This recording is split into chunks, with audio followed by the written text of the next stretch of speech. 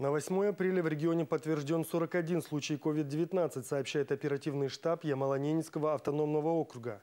В поселке Пангады Надымского района зарегистрирован 21 случай. В Новом Уренгое 8, в Салихарде 8, в Пуровском районе 2 и в Муравленко 2. 22 заболевших госпитализированы, 19 проходят лечение амбулаторно на дому.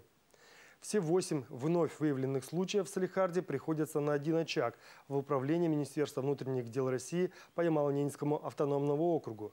Контактные выявлены, обследованы и изолированы. Еще один случай подтвержден в Пангадах Надымского района. Заболевший с самого начала находится под контролем врачей. Ему оказана вся необходимая помощь. Контактные определены, обследованы и изолированы. Поселок находится на карантине. Два случая из Муравленко приходятся на вахтовых рабочих Етыпуровского месторождения. Люди госпитализированы в окружной центр СПИД. Им оказывается вся необходимая помощь. Контактные определены, обследованы и направлены на изоляцию в обсерватор города Ноябрьск.